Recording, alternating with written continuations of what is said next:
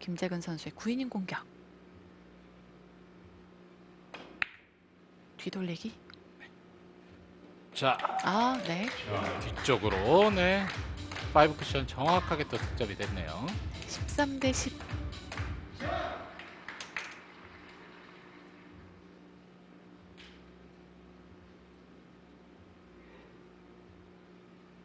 김재근 선수도 지금 막판 집중력을 상당히 끌어 올리고 있는 모습인데 네.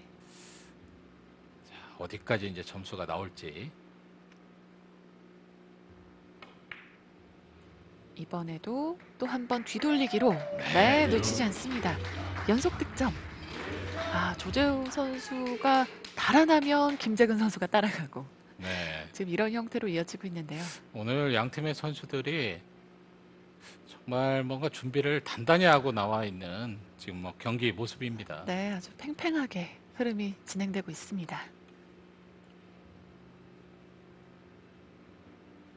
자, 지금도 너무나 괜찮은 배치. 뭐 공략할 수 있는 길이 상당히 지금 많이 보이는 배치인데 네. 그 중에서 가장 자신 있는 지금 선택을 하고 있죠. 이번에도 뒤돌리기.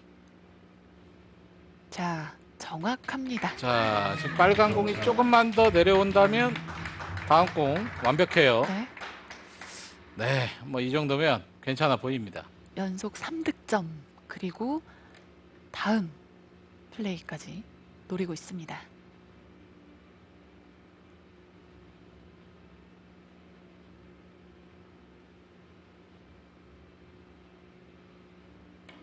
자, 4연속 뒤돌리기.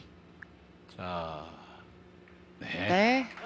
자, 이렇게 되면서 이제 13 대 13 원점으로 돌아왔습니다. 지금 힘이 조금 네, 아주 미세하게 더 사용이 되면서 살짝 짧은 쪽으로 이제 득점이 됐단 말이에요. 네. 여기가 이제 고비가 되겠는데요. 자, 한 방에 갈지. 네, 한 방으로 지금 경기 마무리 지려고 하는 김재근 선수. 자, 이번에 뱅크샷이 성공하게 된다면 이번 남자 단식은 끝납니다. 끝내기 자, 와, 자. 네. 와, 이렇게 김재근 선수가 몰아치면서 끝내네요. 어, 그 한 번의 찬스를 또 이렇게 살려내는 네, 크라운 에테라운. 네. 와, 이게 바로 주장의 품격인가요? 아, 김재근 선수도 안 좋아할 수가 없죠.